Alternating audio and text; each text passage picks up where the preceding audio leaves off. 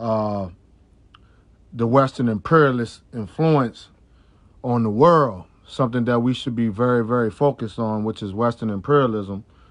Um, something that we should definitely be focused on, which is Western imperialism influence with all these, you know, uh, historic wars and genocides that have taken place throughout history. Um, especially this one. This one is, you know, very personal because it's the it's a it's, it's the Nigerian and Biafra uh, civil war, and this is something that you know I wanted to touch on, and I really wanted to hop on here and you know just send my salutations and my solidarity out to the Biafran people who suffered the horrific genocide from the Biafran and Nigeria civil war.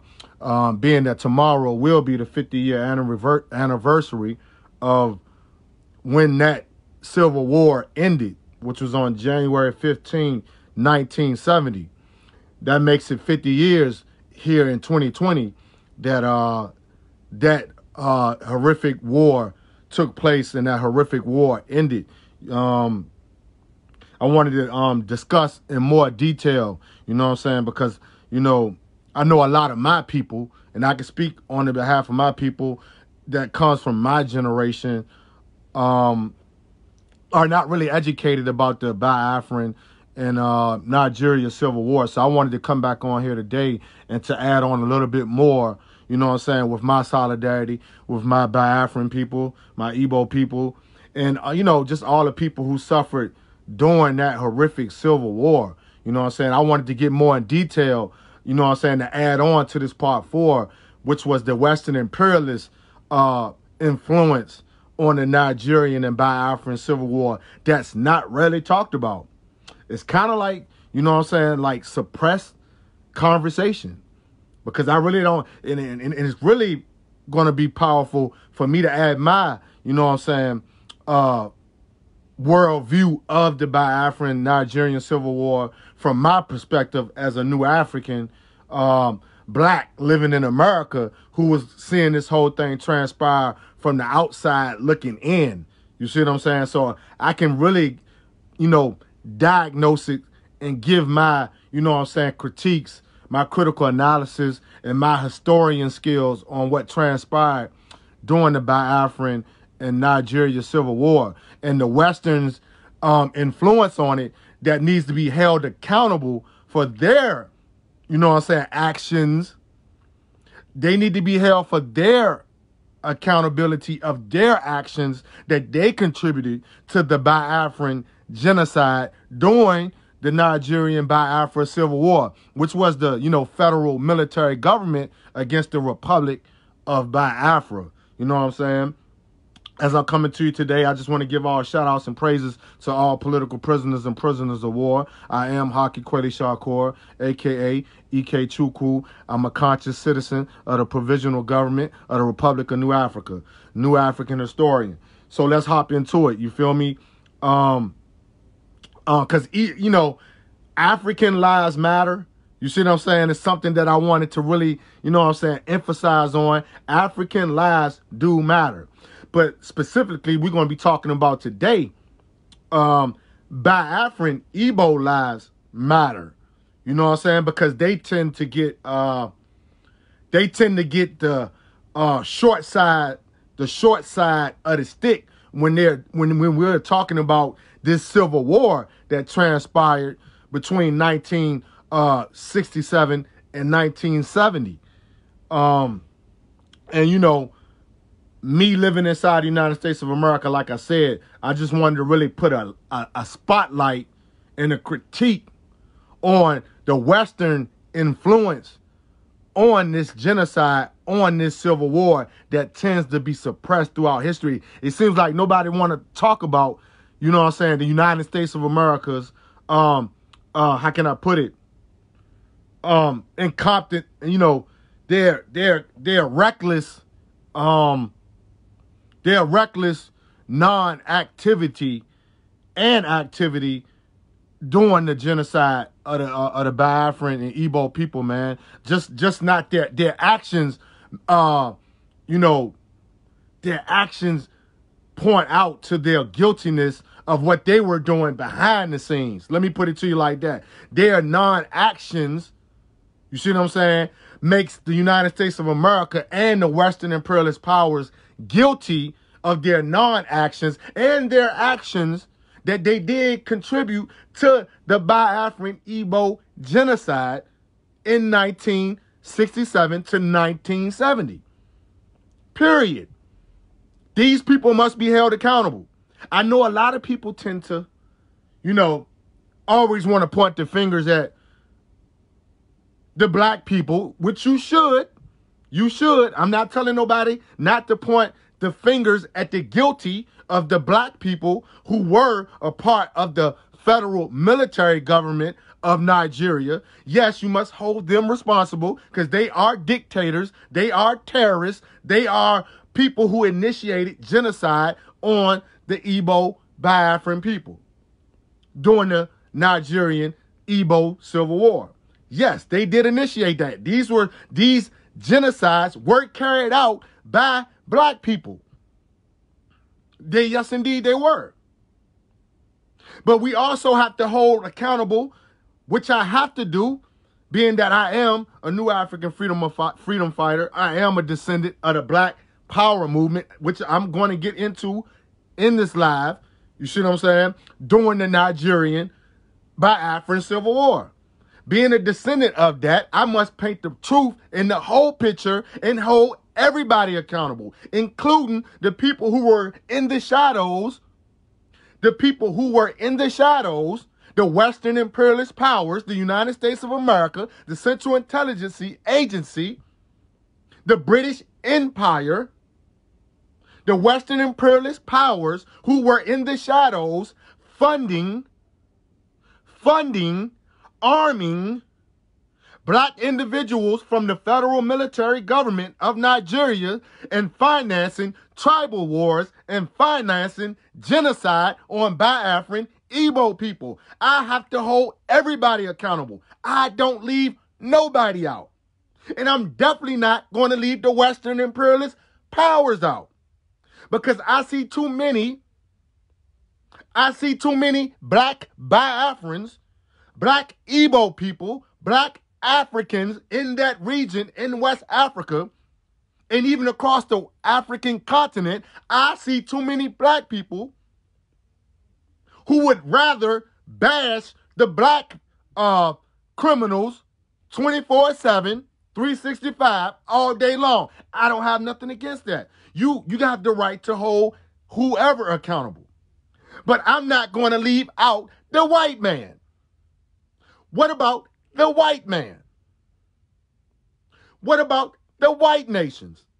What about the white European nations who help finance, who help arm the, the federal military government of Nigeria to carry out genocide on Igbo people, Biafran people, which continues today because it continues today. 50, 50 years later, it continues today. Who is still financing this uh, genocide on Biafran Igbo people? Who are financing it?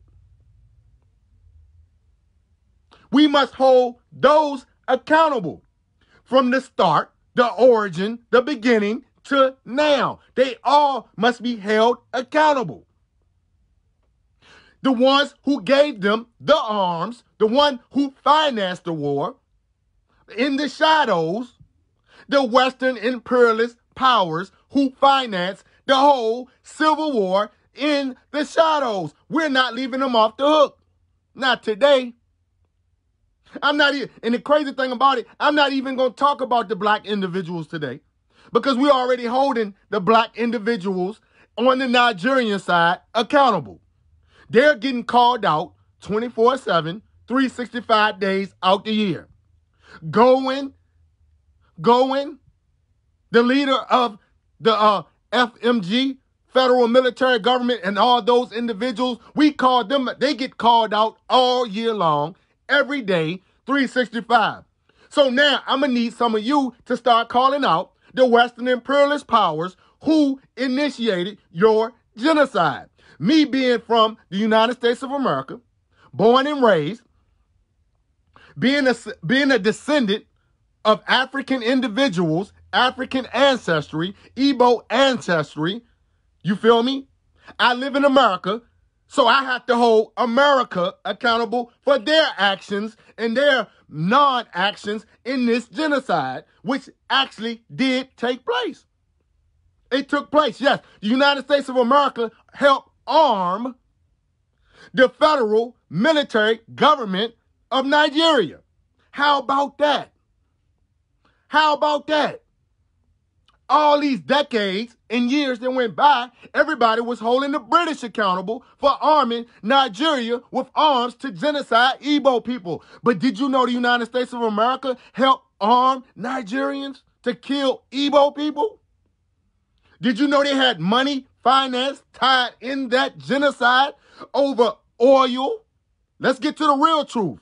A lot of people like to leave the real truth out. I ain't leaving no truths out today. They like to leave the real truth out. Like I've been telling you over this last discourse of four parts of videos on Western imperialist powers, that the British and the United States of America are not separate entities. They are not separate entities. They are they are father and son and brother countries. The red, white, and blue. The red, white, and blue finance Igbo Biafran genocide. Facts. Facts. And I'm going to get to that in a few seconds with a little bit of information that I've been researching today that I've been wanting to talk about. I'm not going to be able to get to all the information that I want to expose today, but I will be getting to a lot of information. Uh, you know, we got to, we got the whole 2020. All my freedom loving people. We got the whole 2020. You know, too too cool willing. Long as I got air in these lungs, we gonna get to all the information. I might not get to all the information in this live, but I'm gonna get to the majority of the information in this live that I need to get out on this 50 years after the, the Nigerian Biafran Civil War. My point is this, people, is that the research I've been doing and digging up has shown that the United States was very neglig- neglig- negligent and very reckless during the CIA Biafran War. Very reckless and very non um, supportive during the Igbo and the, the Biafran Nigerian Civil War. They were very reckless. And it's evidence. I done seen CIA, FBI files on the Nigerian by Biafran War by the CIA um, organization. On the on the you know the, the intelligence that they were doing behind the scenes, the intelligence that they were doing behind the scenes. During two presidential uh, years, Nixon and Johnson. And we all know that when President Johnson was president, he was a pure Southern redneck, a pure Southern racist. So he didn't give a damn if the Nigerians and the Biafrans killed each other off in mass murder.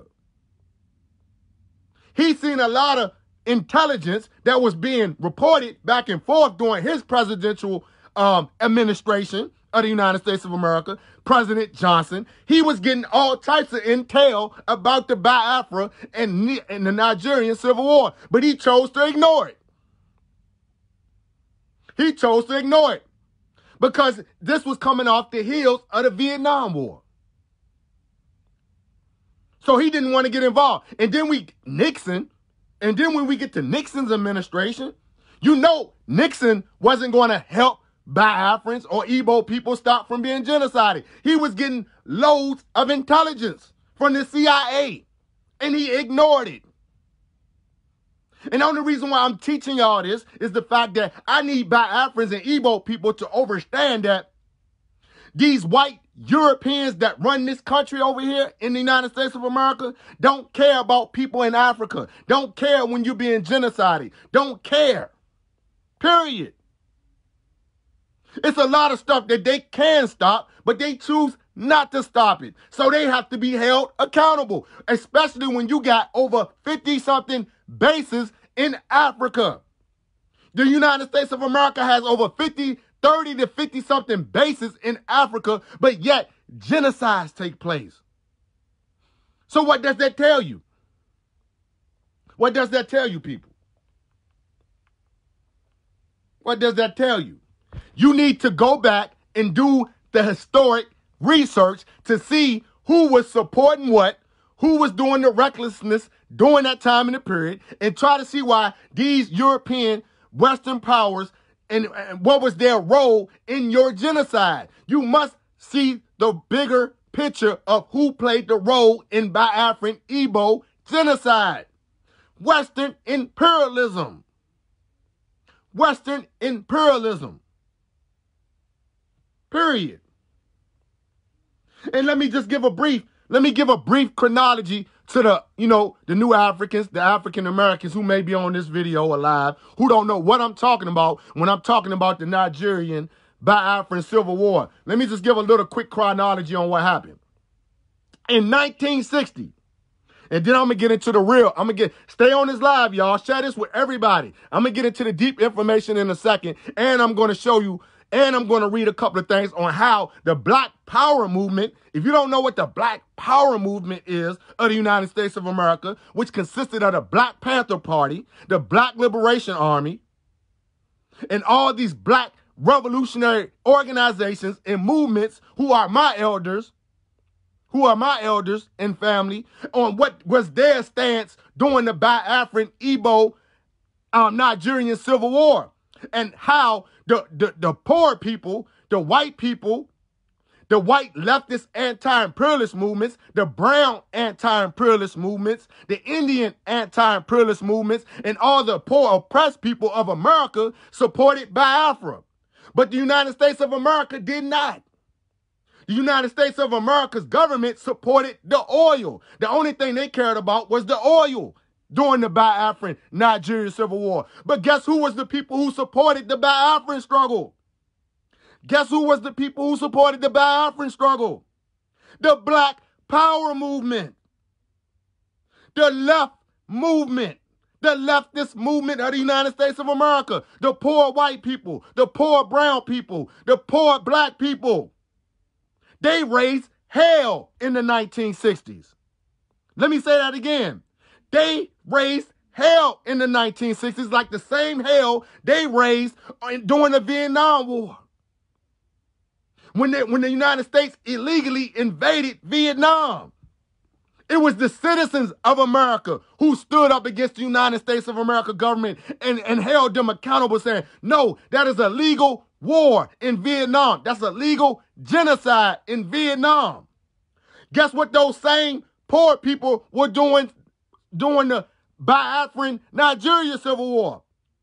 The same United States citizens, let me say that again, the same United States citizens that came from the Black Power movement, the Black Panther Party, the white revolutionary movements, and all the poor and oppressed peoples, the poor white people, the poor brown people, the poor Indian people supported Biafra. They supported Biafra. They supported Biafran referendum. They supported Biafran um when when the moment that Ojukwu called for independence for the Republic of Biafra, it was the citizens of the United States of America, not the government.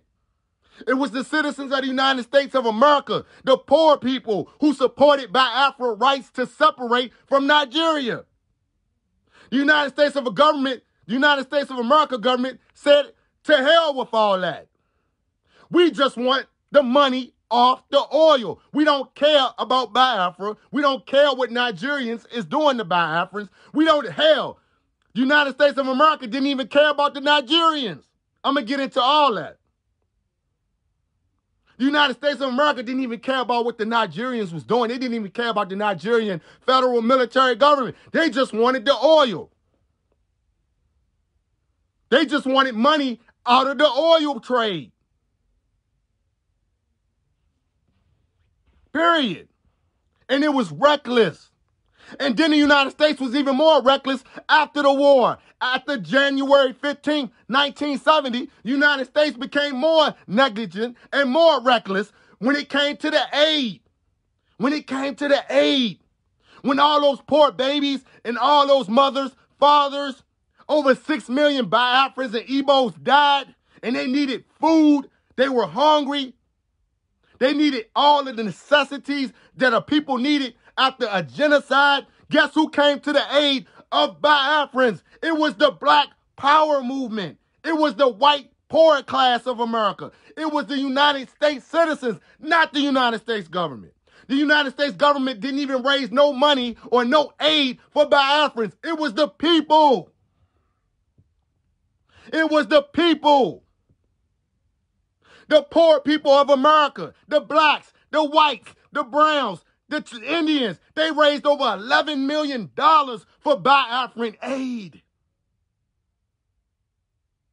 They raised over $11 million in aid for Biafrans. Us, the poor people, the struggling everyday working class in America. Supported Biafrans. $11 million was raised just out of the grassroots movements, not the government. The government didn't even care. They were so busy arming, they were so busy helping the British arm Nigeria. This is facts. Do your research. The United States of America, the British Empire, all armed the Nigerian government to kill Igbo Biafran people. Because it was a it was a deeper it was a deeper it was a deeper agenda. So you always got to look in the shadows and look at the deeper agenda. It was all about the oil. The Western imperialists needed their cut and needed that oil. So they had to support Nigeria. Even when they didn't want to. Even when they didn't want to. That's how evil that the European imperialist powers are. Even, even when they know wrong is being taken place, even when they know wrong is being done to other oppressed people, they sit back in the shadows and let it happen.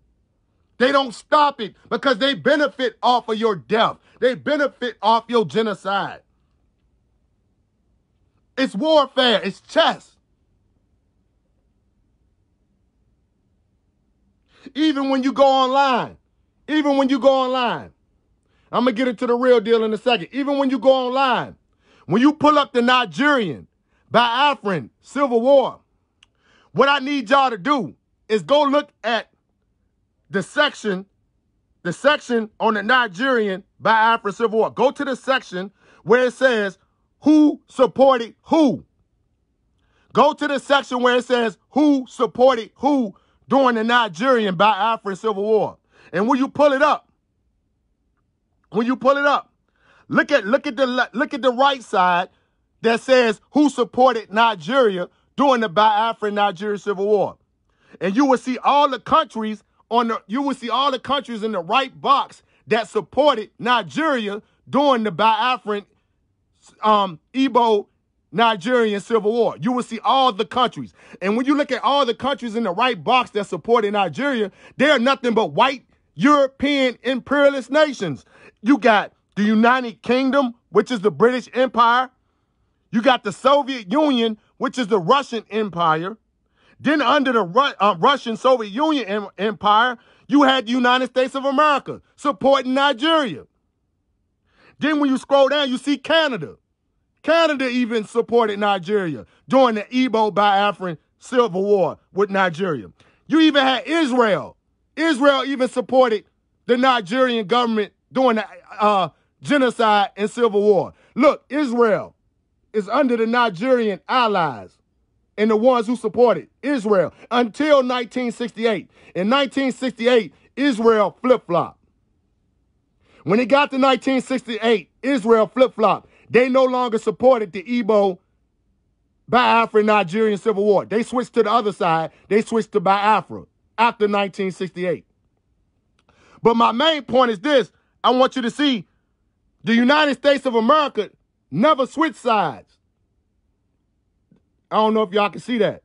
The, the United States of America never switched their support for Nigeria. They remained supporting Nigeria all the way until the Civil War was over because the United States of America had interest in the oil in the trade they was doing with Nigeria.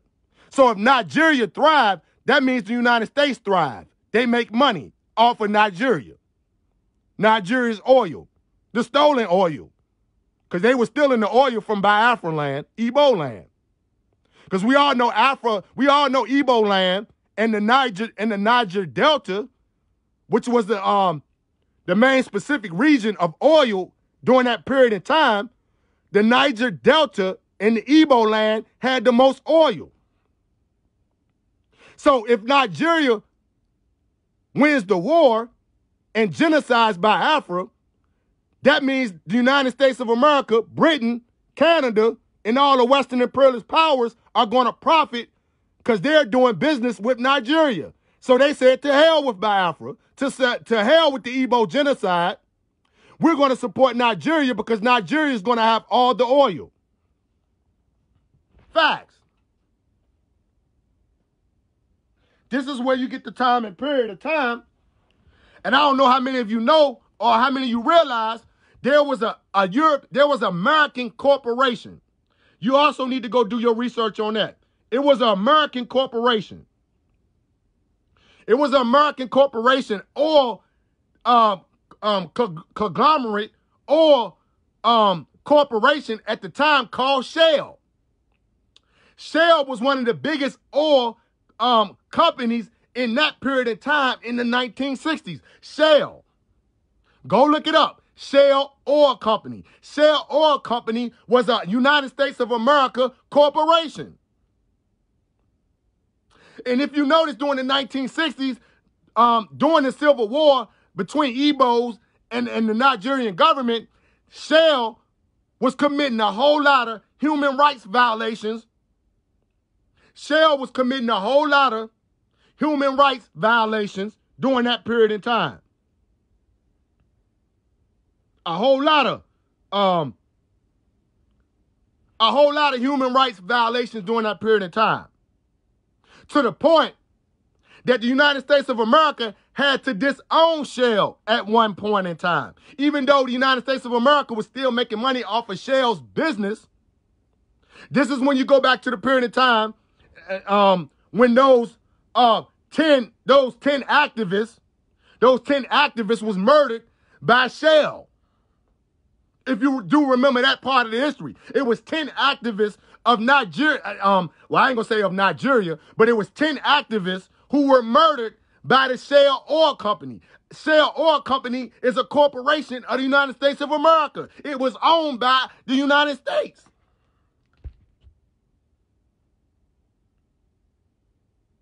It was owned by the United States of America. Shell.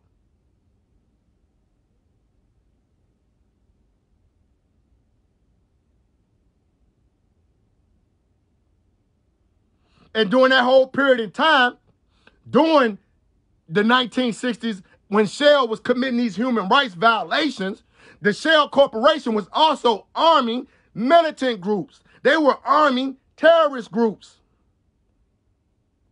during this period of time. This is a United States of America corporation that I'm talking about that was arming Nigerian terrorist groups.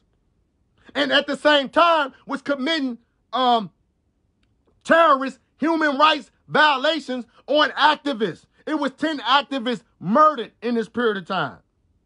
I can't think of the good brother's name, but it was a good brother that was murdered in that period of time. He was an activist that was murdered in that period of time when he was start when he started to protest uh, Shell. When he started to, I think his name was Sawawe or something like that. Sawawo, Sawawe, something like that. The great brother, the great activist that was murdered. I can't really think of his name. Yes, let me get back to this before I get to that. Let me let me break down like the little timeline. 1960. The British colonial powers gives the Nigerian federal military government independence. They didn't fight for it. It was given to them with a, a, a crooked deal between Azikiwe, Nnamdi Azikiwe, and the Nigerian, um, the federal military government, the Nigerians. Britain gives them independence. The Nigerians didn't fight for the independence. It was given to them because it was a, a, a contractual deal that the British Empire and the United States of America and all the Western imperialist powers would still benefit off of the, the whatever is being produced when the Nigerian corporation government comes into existence. It was a side deal done in the shadows with the Western imperialist powers with the Nigerian federal government. This is why so many uh, Western um, countries still profit.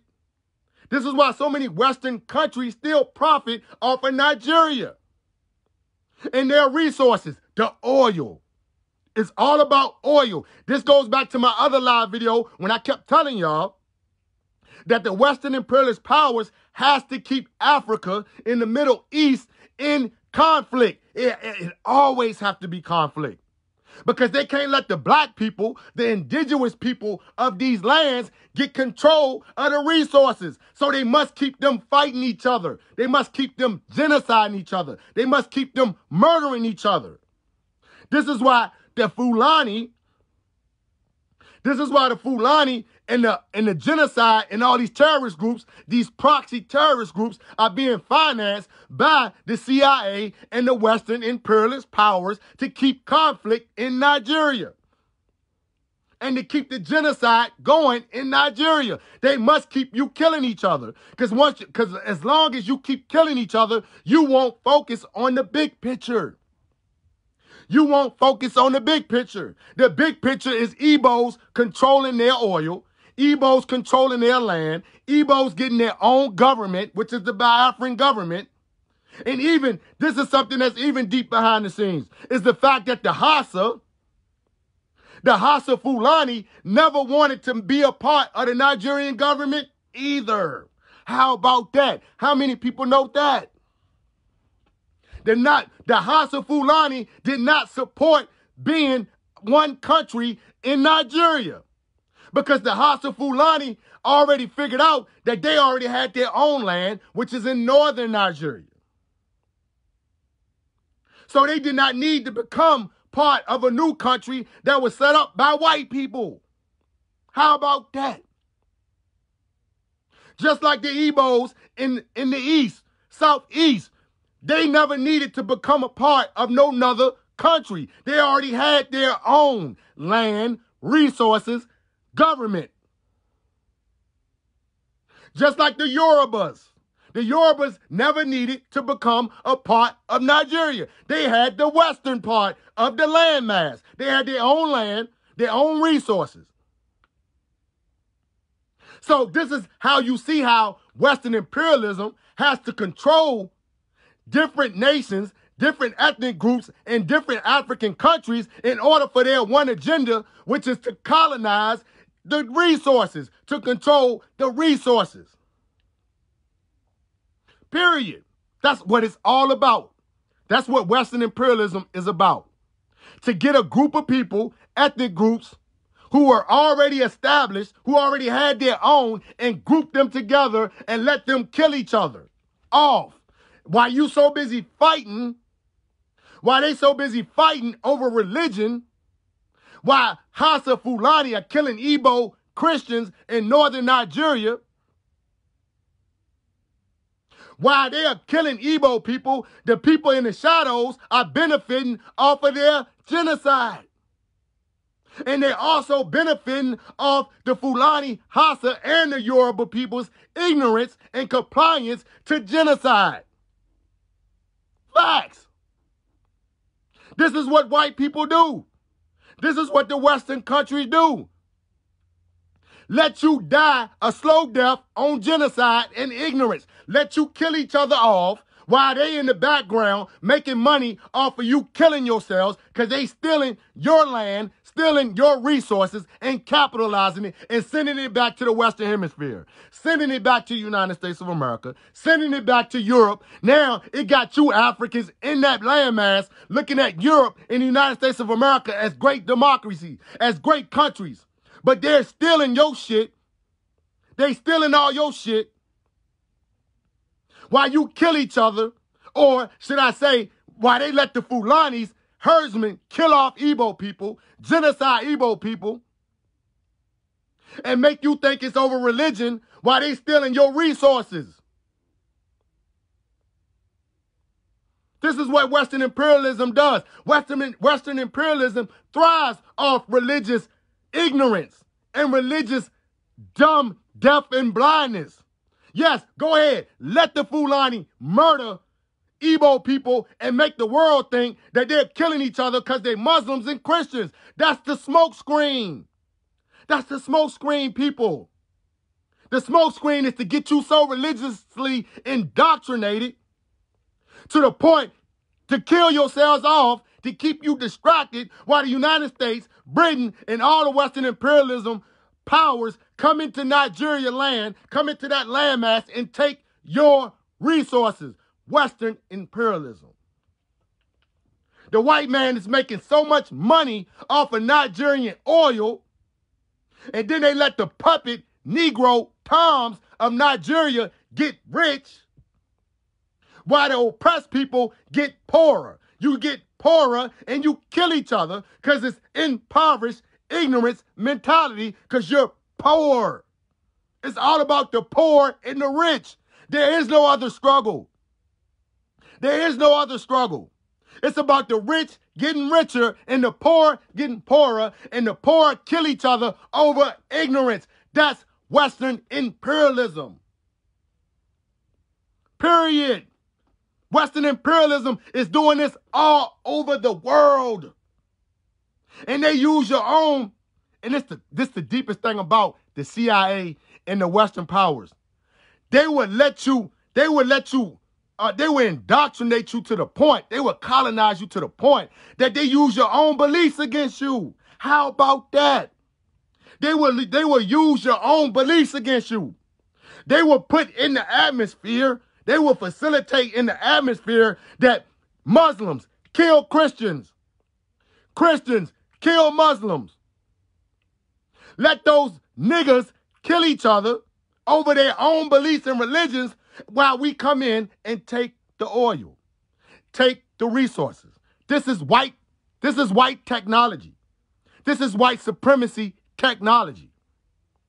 And then at the same time, the colonization gets even deeper because now they would do it so, they would do it so strategic and so low intensity, low intensity warfare that they will have you praising them. They will have you praising them, the white imperialist nations, praising them. Got you brainwashed thinking they coming to save you. But at the same time, they in the shadows laughing at you because you ain't defending yourself. You getting murdered. You getting genocided. And so they put this in the atmosphere like, we're going to come help you, but they never come. They never come to help you. They haven't come to help the Biafrans in 50 years. 50 years of genocide. Nobody has came to save them. No what? No, no European um, power has come to save Biafra yet. But they will have you so indoctrinated that you gotta love the United States of America. You gotta love Britain. You gotta love the European nations because they want you in that state of mind, that deep zombie state of mind, while they steal your resources and let you die. Let you die and then say it's over religion, Western imperialism. And some of that's true to a certain extent because it goes back to what I just told you. They will use your own beliefs against you. That's low intensity warfare. They will use your beliefs against you to get you caught up in a whirlwind, a secluded zombie mind state. They're saying that these killings are Christians versus Muslims so they can get you so deeply indoctrinated to the point that you forget, that you will forget that it's an external enemy, it's an external force that's facilitating all this in the shadows and taking your land and resources. What is the greatest trick that the devil ever told the world? What is the greatest trick the devil ever told the world? The devil, the greatest trick the devil ever told the world was to make the oppressed people believe that the devil didn't exist. The devil exists. Western imperialism. Western imperialism is the devil. I don't even gotta say the white man is the devil. Western imperialism is the devil. So you know who the devil is. Western imperialism is the devil. Western imperialism is the devil.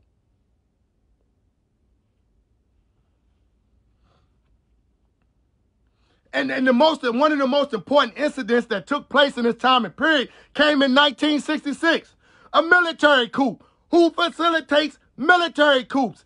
Western nations. Military coups are facilitated, financed by Western nations.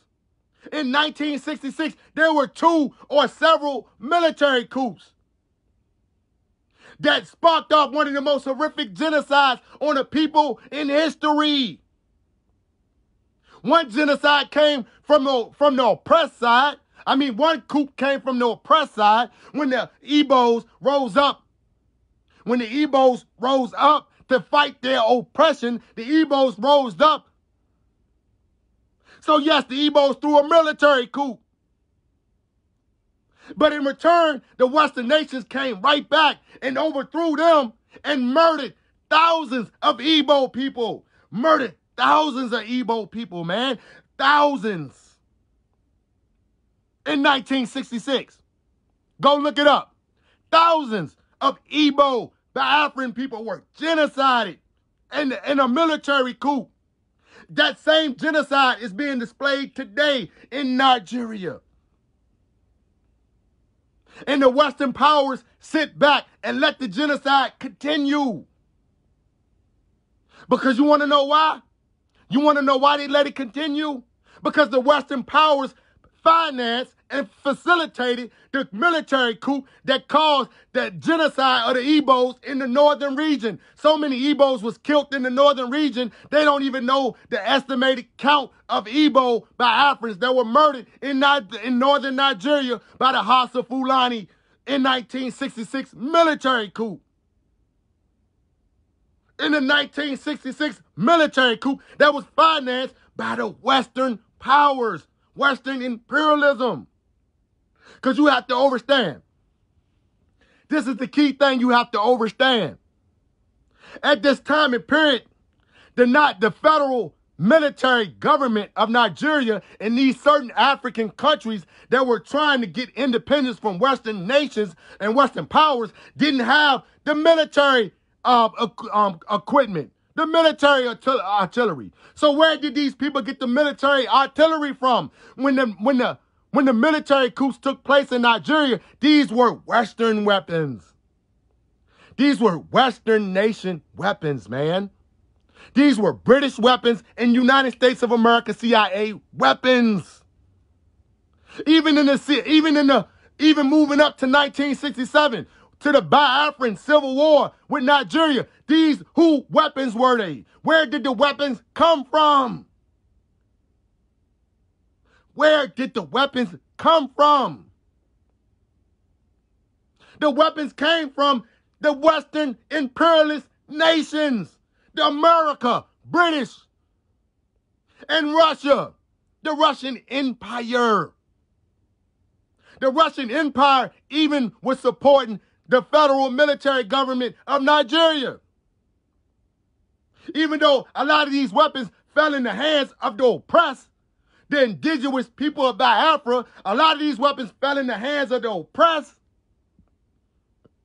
But who guns and weapons were they? Where were they manufactured at? Who created them? Who put them in Nigeria? How did they get there? How did they get there?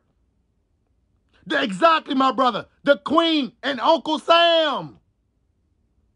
The Queen and Uncle Sam planted these weapons in Nigeria and Biafra. And the Biafrans did everything that they had to do by any means necessary to defend themselves. The Republic of Biafra was originated and came into existence off of self-defense. The Biafran movement was a self-defense movement to keep their people from getting genocided. Remember what I just told you. In 1966, the, the Northern Empire of the Hausa Fulani was being financed by the British Empire and the United States CIA. They were murdering and genociding Igbo Biafran people in 1966, killed off thousands of them. So in response to that, in southeastern Nigeria, in southeastern, I don't even like to call it southeastern, Biafra land, in Biafra land, Igbo land, they had to find ways to defend themselves. So yes, they got their hands on weapons only to defend themselves and to defend their kids. This is how, and then, and this is, and this is the most important thing that you got to understand.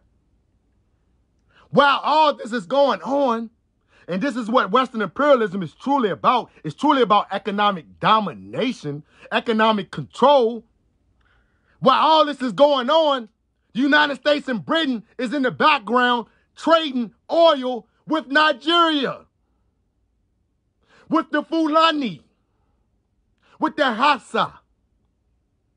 While all this genocide and murder was going on in this time period, the United States of America, Britain,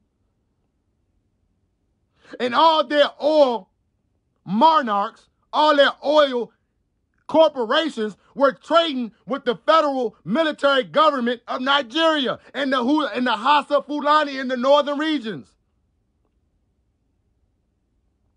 Making money off of genocide, making money off of tribalism. Making money off genocide and tribalism, man. And it continues today because history is the present. History is the present. It's still going on today. Biafrans, Igbo people are still being genocided. They're still being genocided by the same people, the same facilitators, and the same people who has the weapons. Nigeria, this is what you got to understand, my, my Biafran Igbo people. This is what you got to understand, man. The Nigeria government and their military are only strong, are only strong because they have Western weapons. They got Western weapons. They're using American military guns.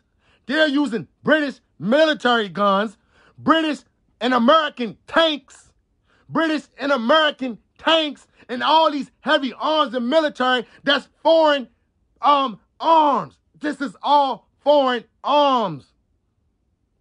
Nigeria is not producing those weapons. They're trading with the Western empires for these weapons. With oil. Your oil, to be exact. It's your oil, Biafrans, Igbo people, and all oppressed people in that region.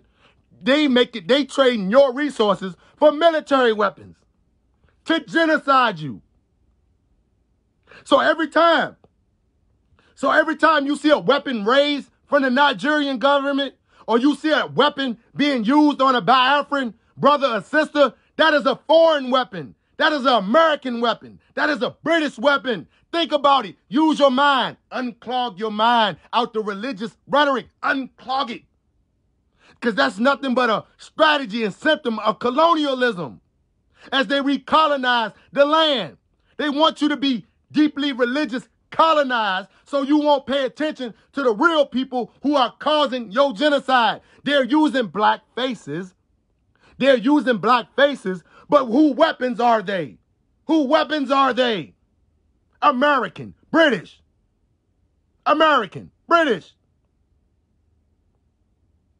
And I don't care who don't like the truth, but I'm going to tell the truth because I'm holding everybody accountable. I'm not just holding Buhari accountable. I'm not just holding the black faces who are doing the political business every day in Nigeria. I'm not just holding them accountable. I'm holding their bosses accountable. The white devil in the background facilitating and paying and financing my Igbo Biafran people's genocide and all the other people who begin genocide in the Delta region, the Niger Delta regions, the center, the center belt regions who being genocided by the Hausa Fulani, who's financed by the CIA, the Boko Haram, who's financed by the CIA, American, British forces, Western imperialism.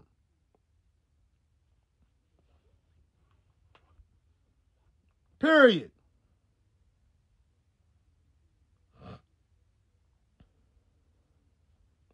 Let me see if I can find this real quick before I get off here.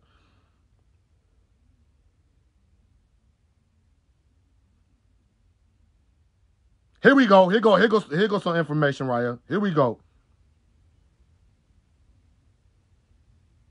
This is the Black Power movement. This is some information on the Black Power movement uh, and the oppressed peoples of the United States of America, the United States citizens, the Black Power movement, Black Panther Party, um, uh, the, the white anti-imperialist movements, all the, the revolutionary movements of America, not the United States of go- not the United States government, but the citizens who supported Biafra. They didn't support Nigeria, but the but the United States government supported Nigeria and oil.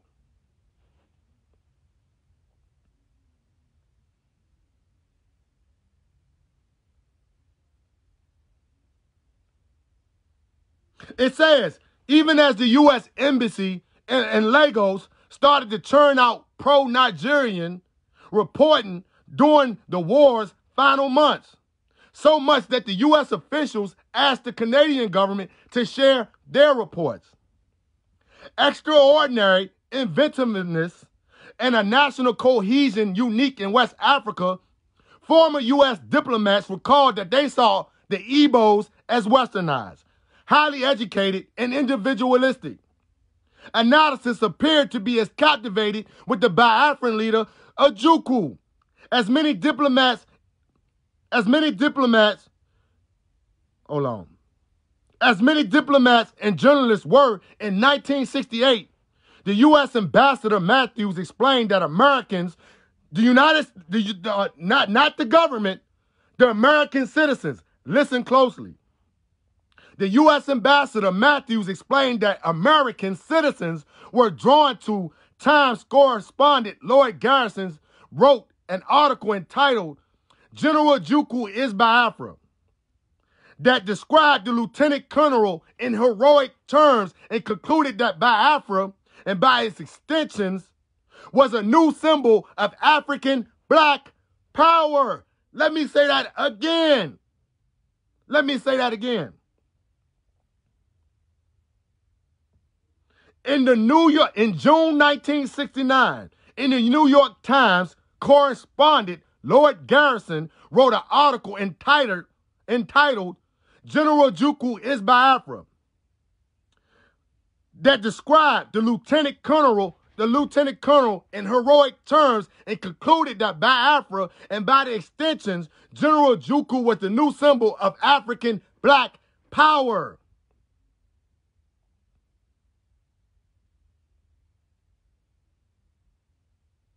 Let me scroll on down. I got more information. Let me scroll on down. I'm so I can get to the rest of this that I, I, I pulled up earlier.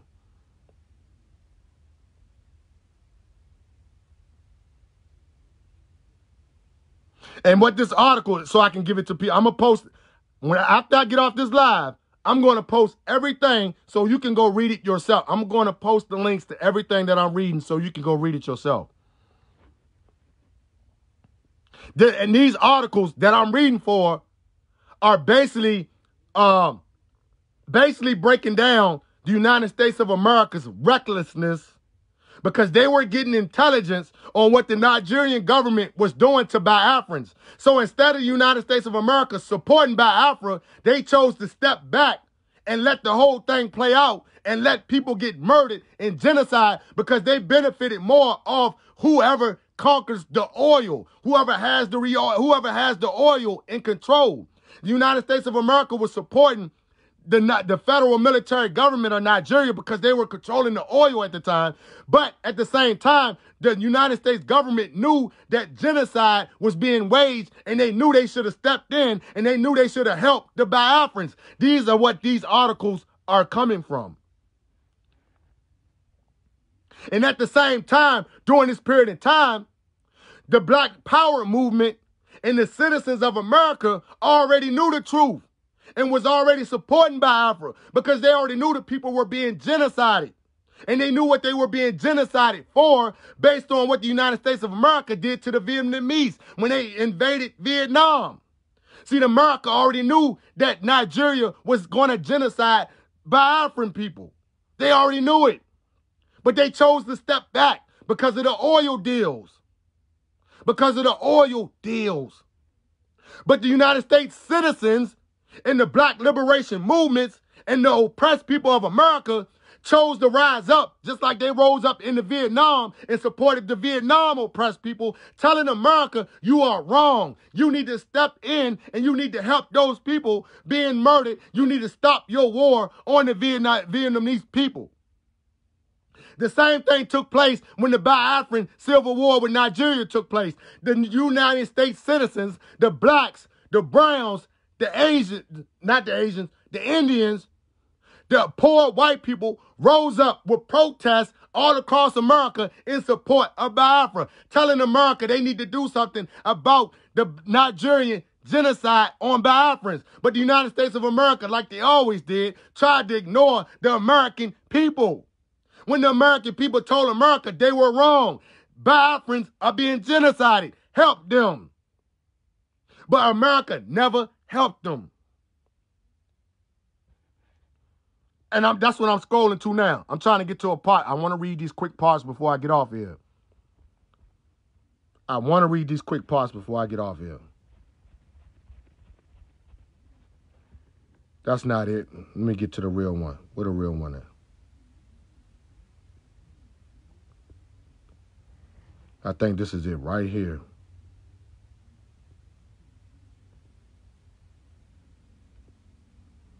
Don't worry, I'm going to get to it. Hold on.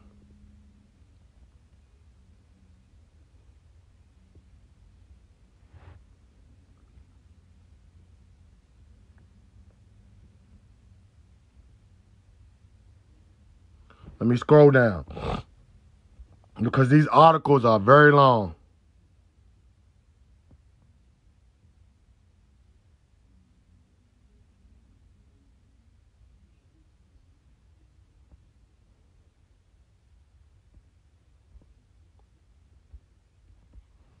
That ain't it neither, man.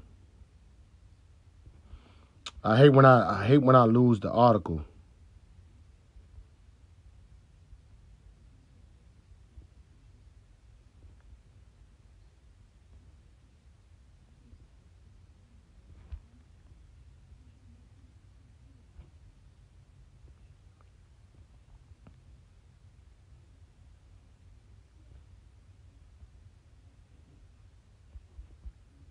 These United States oil companies, man, they were really reckless during this time period, this period in time, man. And they just let these people get genocided. I cannot find it. Where's this article at, man? I was just reading this article. Now I cannot seem to find it. Oh, here we go. Here we go, right here. I found it. Here we go.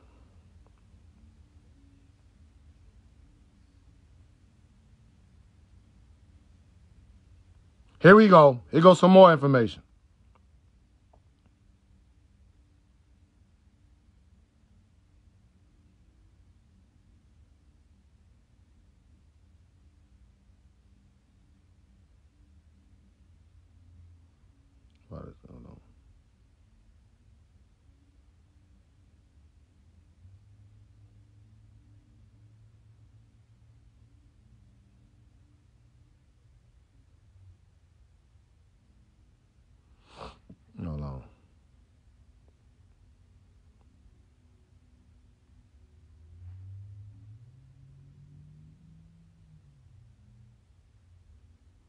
think this is it right here. Alone.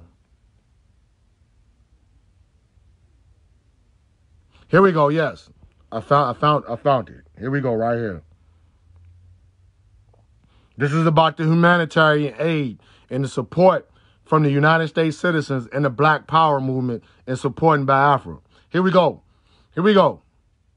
And depicting by here we go. This is the most important part I want y'all to, to understand that the citizens were supporting Biafra and the, the Black Power movement and the leftist movements and my elders, the Black Panther Party, and depicting Biafra as a vital link in the ongoing struggle of third world. By Biafran supporters were tapping in, and, these, and this is the United States citizens rising up against their own government. These were United States citizens rising up against our own government and telling them that they were wrong, that they were supporting genocide. Here we go. In depicting Biafra as a vital link in the ongoing struggle of third world, Biafran supporters were tapping into a growing sentiment in the United States, particularly amongst the new left activists, that the United States was a reactionary. Listen to what I'm saying. This is what the citizens of America was calling the United States of America's government. Listen. Biafran supporters were tapping into a growing sentiment in the United States, particularly amongst the revolutionary new left activists, that the United States was a reactionary great power intent on snuffing out indigenous struggles for self-determination, like in Vietnam, but also in Biafra. Through its failure, listen closely, through its failure to provide humanitarian aid, its support for continuing British armed shipments to the Nigerian government, and its failure to diplomatically recognize Biafra. Let me say that again. This is what the United States uh, left was telling the United States of America government, and they exposed the United States of America government of supporting and supplying arms to the Nigerian government. This is the people of America. The people of America exposed the United States government for arming the Nigerian army for genocide in Igbos and Biafran. It's right here. I'm going to post it in the um, comment box when this live is over. Listen to what it says again.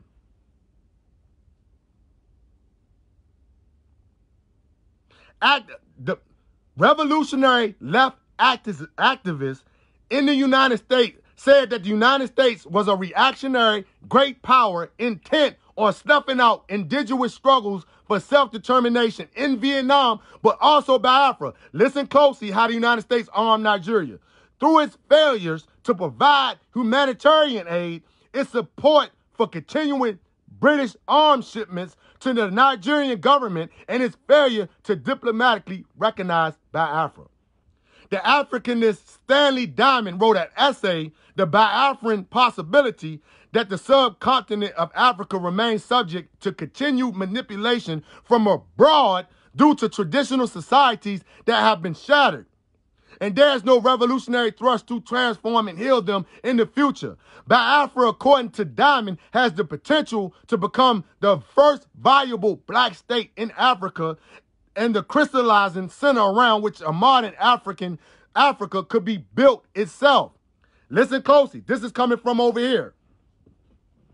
It states the Joint Afro Committee on Biafra a small but vocal group of African Americans. Here go my people. Listen closely. Here go my people supporting Biafra. Listen closely.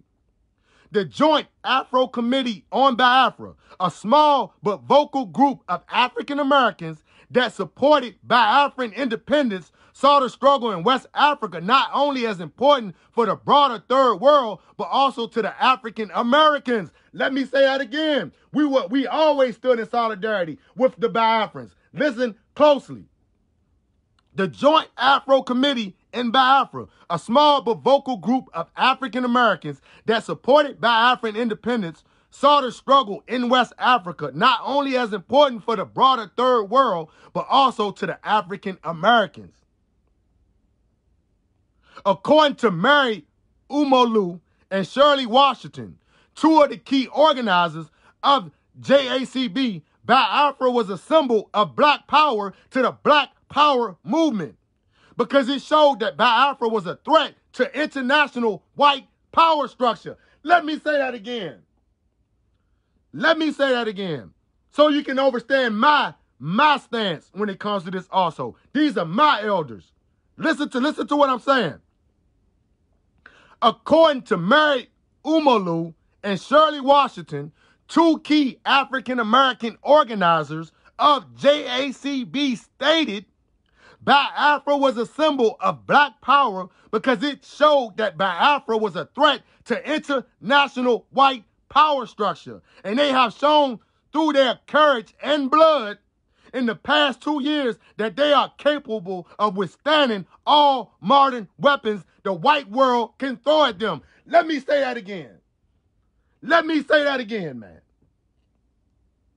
At the same time, these great elders from America, these black organizers from America, these black Americans were telling by Biafrans that the United States and the British Empire were arming Nigeria's genocide. They telling you, and they was telling by Biafrans what your, who was the true enemy, the people who were facilitating your genocide, the white supremacist power, Western imperialism. They said it right here. This is documented history.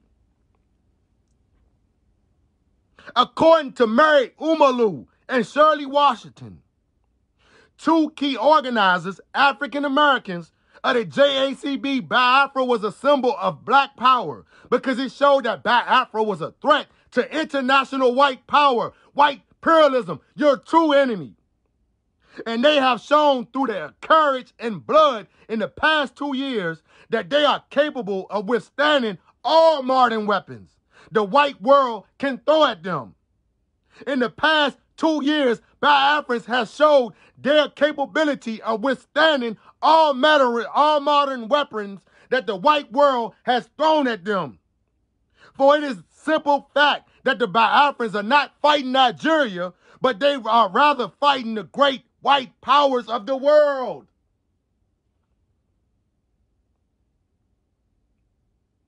Of the world. Listen, how about that? Listen to that. These are my people telling y'all what I'm telling you today about Western imperialism. Stop being blindsided. Stop being blinded by what the Nigerians are doing. When the Nigerians are being financed and backed by the white powers to murder you. My people been knew this. My people been telling them this. Listen to that last line. Listen to the last line. For it is a simple fact that the Biafrans are not fighting Nigeria, but rather the great white powers of the world. How about that? This is what it, this, man, this is why we supported General Ojukwu so much, man. This is why the black liberation movement, the black power movement supported General Ojukwu. This is why we supported him. Because General Ojukwu was a symbol of black power. Black power against the reactionary Western white imperialist powers. This is why we supported the struggle. This is why I support the struggle. Nigeria is a smokescreen. Nigeria is a smokescreen. Who is really who is really facilitating your genocide? The Western imperialist powers. Everybody knew this back in the 60s. All the revolutionary movements knew this in the 60s, man. Especially the blacks here in America, the whites here in America, the citizens of the United States of America called out the United States of America for their recklessness, their non-activity, and their uh, and their collaboration with the Nigerian federal military government because of oil that they didn't even help with the humanitarian aid. It was us. It was the black citizens, the black white citizens, the Mexican citizens who, who raised the humanitarian aid for Biafrans when their children were murdered, genocide from hunger. We raised $11 million, not the United States of America. We raised $11 million. The people of America, the oppressed people of America raised $11 million for your aid for the death and genocide during the Biafran War. Not the American government. The American government was so busy getting paid and doing shady shit and arming Nigeria to kill you. Facts. Know your history. Please know your history, man. Know your political history, man.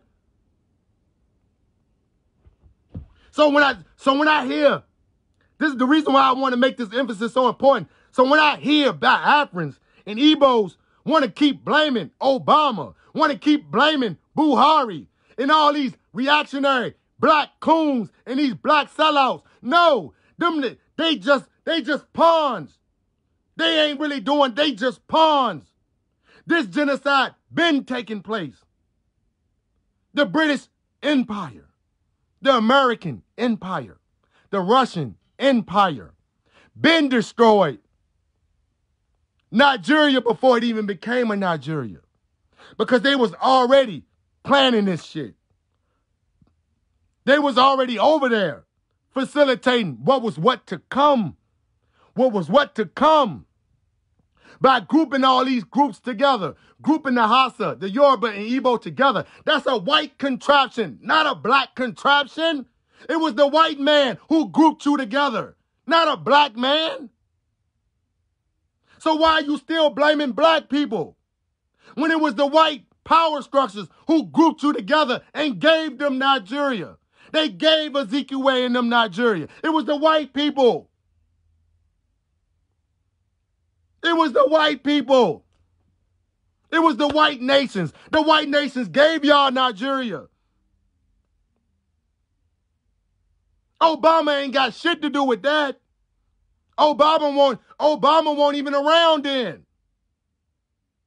Buhari was because Buhari was a military figure in the federal military government. So yeah, Buhari was around. So yeah, Buhari do got a role to play in that because he was in the military. So he helped the genocide. But Obama was not around. Wasn't even heard of. So how can you blame a man like Obama for something that they already did to y'all? I don't want to hear no more about that. That's a distraction. Obama ain't got nothing to do with that shit. The Western imperialist powers did that to y'all. And continue to do that to y'all. And before I get off here, and before I get off here, let me give salutations. Let me give salutations, man. This is this is the last article I'm gonna read. I'm gonna post it in the comment box also. I don't even know if y'all can see that. But this is on my blog site, my website. And, and a couple of y'all probably seen me posting this over the last three years. But it's the Black Panther Party. And their solidarity with Biafra at the Black Panther Party rally in 1971 in Harlem, New York. When they was when the Black Panther Party and them was waving the Biafran flag. But also this article is dedicated to one of the Black Panther, a Igbo Black Panther member. How about that? Did you know that it was an Igbo activist? An Igbo activist from Igbo land that lived in Britain, who was a part of the Black Panther Party, who started the Black Panther Party in Britain. The great ancestor, the great brother, Obi Egbuna. Have you ever heard of Obi Egbuna? The great revolutionary activist who started the Black Panther Party in Britain to, to combat Western imperialism. Here he is with the great Kwame Nkrumah.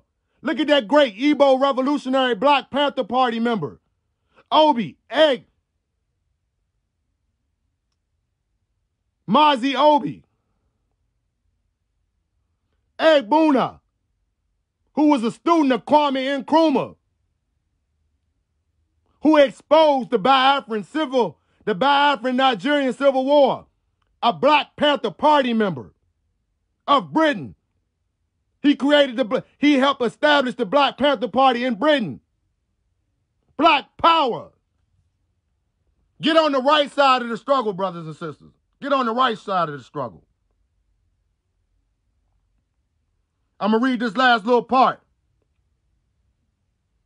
about the Black Power movement exposing U.S. imperialism and supporting. Let me let me read this last part. Here we go. This is about the Biafran and Nigeria Civil War from the Black Panther Party of the U.S. and Britain.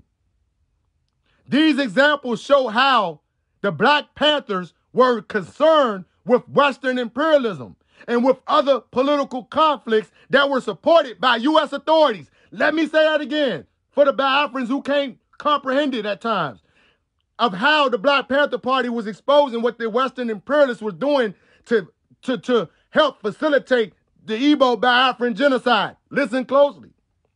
These examples show how the Black Panther Party were concerned with Western imperialism with other political conflicts that were supported by the U.S. authorities. Black Panther members attempted to show how Western imperialism in the quest for power also affected the people of Africa, causing violent civil wars amongst tribal groups. The Nigerian Biafra War lasted approximately three years in the late 1960s and resulted from a secession of southeastern regions in Nigeria into the Republic of Biafra. Listen closely. Here, go to, here come the Black Panther Igbo brother. In response to this war, the newspaper informed readers about an exiled, about an exiled Igbo socialist revolutionary, Obi Egbuna, who accused British uh, uh, uh, accused British American racists.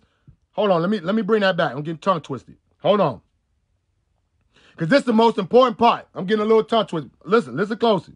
In response to this war, the newspaper informed readers about an exiled Igbo socialist revolutionary, Obi Buna, who accused British American racist Peace Corps volunteers for promoting tribal rivalry in Africa. Eric Buna also attributed to the war, attributed the war to Britain and the American neo-colonialism. British American Pigs, 1968, page 12. Here, a reader could find an expert opinion about, a, about the Nigerian Civil War, which occurred seven years after the country gained independence from Britain. On the same page that included several pictures of soldiers fighting, the writers reported that Nigerian troops were provided with British and American weapons. Let me say that again. Let me say that again. This is by the Igbo Black Panther Party members in Britain. Listen closely to who he said was arming the Nigeria government. The Nigerian Biafran Civil War, which occurred seven years after the country gained independence from Britain, on the same page that included several pictures of soldiers fighting, the writers reported that Nigerian troops were indeed provided with British and American weapons. They wrote that Biafran troops fought like guerrillas, fighting a war as blacks were sold, not much else, as their weapons were often taken from dead Nigerian troops. Didn't I just say that early in the live? Didn't I just say that early in the live? That Biafrans were taking weapons from the Nigerian troops and using those weapons in self-defense. In self-defense. The Biafran movement rose up as a self-defense movement because the Biafrans did not have the weapons that the Nigerians had because Nigerians had American weapons and British weapons. Listen, this is guerrilla warfare I'm teaching you about. This is guerrilla warfare, man, from the oppressed. They wrote that the Biafran troops fought like guerrillas, fighting a war as blacks with soul, not much else, as their weapons were often taken from dead Nigerian troops. The Black Panther movement Listen closely. The Black Panther movement Igbo leader Obi Egbuna, as a Biafran author, also was arrested for obstructing police. Let me say that again. The Black Panther movement leader Igbo Obi Egbuna, a Biafran author, also was arrested for obstructing police.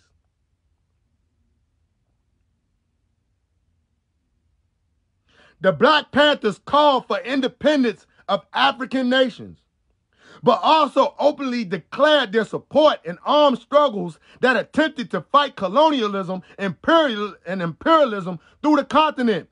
The newspaper informed their readers of what was going on in Africa and how others were fighting the same powers who continued to practice racial oppression back home telling readers about the world revolution. Therefore, it became integral in the Black Panther as it sought to mobilize black communities in the U.S., encouraging them to fight against both U.S. racism and imperialism. The Black Panther paper continued to demonstrate to its readers that groups abroad were fighting Western imperialism and colonialism. It was argued that the U.S. was losing the battle in the global war. It suggested that armed struggles of Arab, African, and Latin American peoples developed rapidly in the struggle of workers, students surging forward.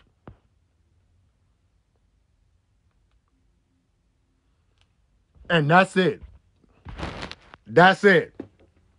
So now, as I got that all, got that all out, as you can see, it was the black the black liberation struggle, the oppressed U.S. citizens, and the U.S. citizens, period, from the left, from the revolutionary left, who supported Biafra when the United States of America was supporting the genocide on Biafran Igbo people. You even had Igbo Black Panther Party members, one of your own, one of your own great revolutionaries who was born in Igbo land who moved to Britain and who exposed the truth, the lies, and the deceit of what was going on in the Biafran um, Nigerian Civil War. It was an Igbo revolutionary Black Panther brother who exposed all the true people who needed to be held accountable.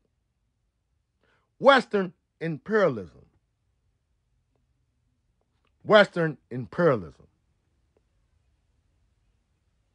So now you see what I descend from and where my political views come from.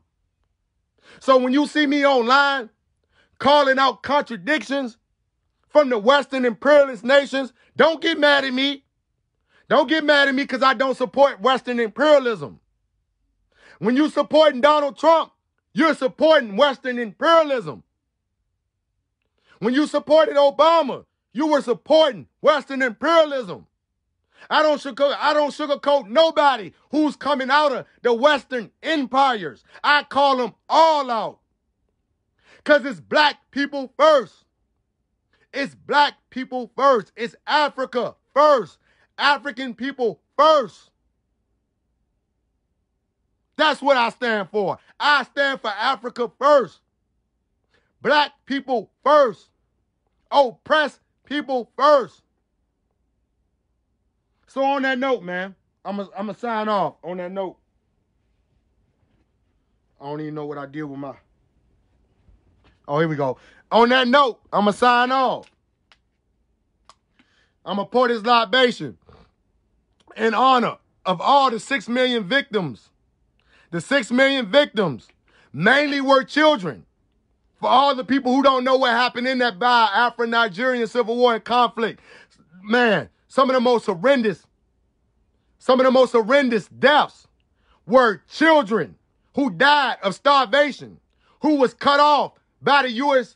U.S. British imperialist powers and the federal military government of Nigeria, who cut off all aid to the Biafrans and the Igbo people. That's what you call sanctions. That's the video I did the other day. Sanctions. Sanctions are illegal terrorism. So when the U.S. British Empire and the Nigerian government colluded together to cut off the food supply, to cut off all resources to the Biafran people after the war was over, that was sanctions. Sanctions still being taken place today. Sanctions. Sanctions. Over 6 million died, majority kids. Poor babies were being displayed all through Western media, Western magazines, putting Biafran hungry kids all on magazines after they done starved them to death, That's how crazy Western imperialism is. They would put Biafran starving babies all on our TV sets in America. Starving, died. But they caused it. They caused the genocide. But they had the nerve to display it through every black, every country's home, on the TV, on the news, in magazines. Devils, pure devils. And then try to pretend like they didn't have nothing to do with the genocide, man. When they caused the genocide, six million Igbos dead. Majority of them, children, dead. So I pour this libation out in the memory of all those guerrilla fighters of the Biafran uh, military arm, all the children, mothers, fathers who died from starvation, who died from starvation in 1970, between 1967 and 1970. I pour this libation out in their memories that they're still walking with us. They still, you know, guiding us from the ancestral realm. I pray that their deaths don't go in vain. I pray that they always be remembered. Especially the kids, the babies that started them. I pray that they always be remembered. Because not only were they victims of Nigerian genocide, they were victims of Western imperialist genocide. So I pour this libation in their memories. And that we all always keep them in our memories. And always spread the truth about what happened in the Biafran Civil War, the Nigerian Civil War. I pour this libation on their memory. Ise. Ise. Ise. Let me get them Ises up. Ise. Ise. Ise. Ise. Ise. Ise. In their memories. In those keep in them babies' memories. All the six million that died. Ise. Ise. Let me get the Ise. Ise. Fill my fill my comments up with Ise. Ise.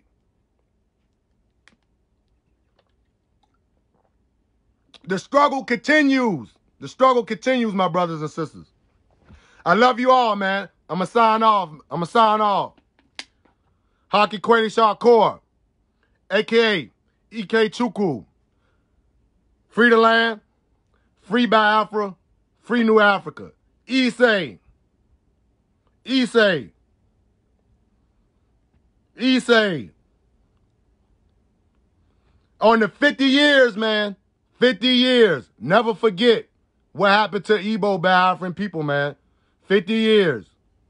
And, and, and what's most important, pay attention to what's going on now, because it's still going on. They still being genocided. To all my black people in America, go do your research on what's going on in Nigeria, in, South, in southeastern Nigeria, and what's happening to Biafran Igbo people. It's a genocide. Ise. I love y'all, man. I'm out.